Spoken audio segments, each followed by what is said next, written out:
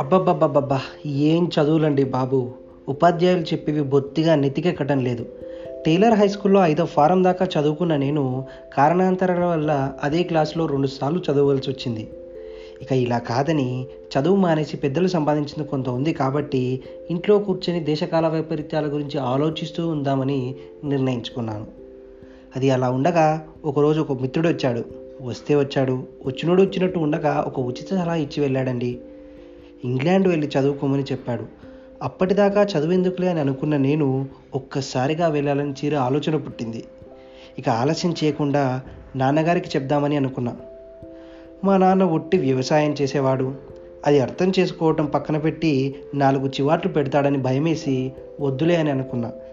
మరి ఇప్పుడు ఎలా వెళ్ళాలబ్బా అని ఆలోచిస్తూ ఉండగా నా చిన్ననాటి స్నేహితుడు ఒకడు గుర్తొచ్చాడు.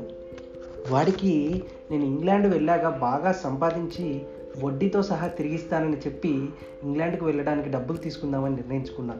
ఇక ఆలస్యం చేయడానికి అవకాశం లేదని ఎందుకో అనిపించింది.